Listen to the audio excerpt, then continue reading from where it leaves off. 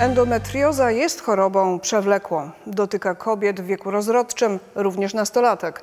Do tej pory naukowcom nie udało się do końca wyjaśnić mechanizmów jej powstawania. Jednak dzięki nowoczesnej technologii możliwe jest już wykrycie choroby w jej wczesnym stadium.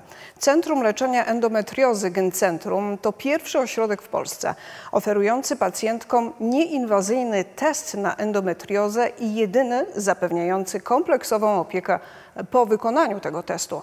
Więcej na ten temat w materiale Karoliny Komady. Bóle podbrzusza, obfite i bolesne miesiączki to tylko kilka objawów endometriozy, choroby, która dotyka wielu młodych kobiet. Szacuje się, że w Polsce na endometriozę cierpi około 2 milionów kobiet i dla wielu z nich najgorsze są problemy z niepłodnością. Wczesne wykrycie endometriozy daje nam czas na leczenie i powoduje to, że endometrioza nie pustoszy tak organizmu pacjentki.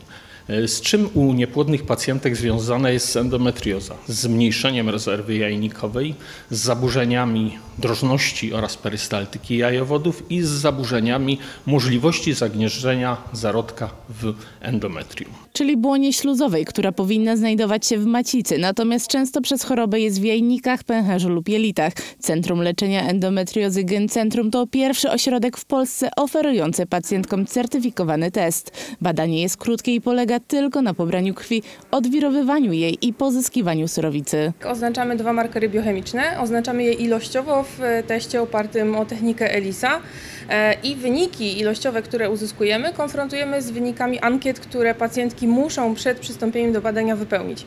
Wtedy uzyskując wyniki testu, wyniki ankiet, konfrontujemy je ze sobą za pomocą specjalnie skonstruowanego algorytmu i uzyskujemy wynik pozytywny lub negatywny, świadczący o tym, że pacjentka jest obciążona endometriozą lub nie.